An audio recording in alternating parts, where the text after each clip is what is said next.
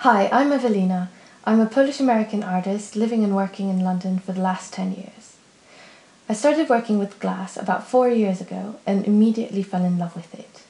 I'm excited about the mechanics, physics, and chemistry of glass, but also its pure beauty and astounding colors and forms. The more sculptures I make and show in galleries, the more I discover how glass has the power to amaze and to evoke really unexpected emotions. That is what Glass Senses is about. For me, glass as a material is magical.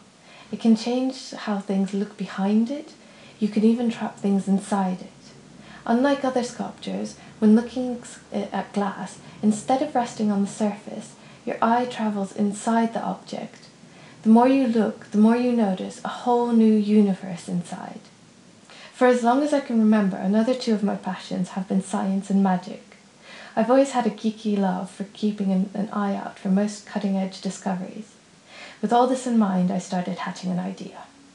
What if I focus on two senses, touch and proprioception? Proprioception is the way we position our body, the strength of movement, and how your brain knows what body parts are yours. Both touch and proprioception are very important in how we relate to the world on a very physical level.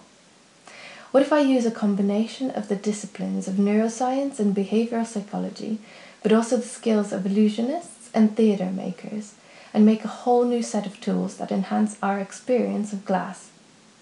Can you, by just feeling an object, be made to feel angry, sad, happy, nostalgic? Can it seduce you? I want to combine all of this to create a completely new discipline, a radical new form of glass sculpture a type of art which not only allows you to touch it, but which specifically is made for you to touch and move around it. Earlier this year, I presented the Royal College of Art with this idea as a two year research proposal. They thought the idea was fascinating and accepted it as an MPhil research project. Here's where you come in. Funding opportunities are exceedingly few for graduates nowadays. I've been granted a bursary from the Royal College of Art and I'm partly going to be supported by my family, but I need much more for it to happen. Here's your chance to be a part of something new, something that can completely change how art is designed and how you experience art. Help me make this happen. Thanks.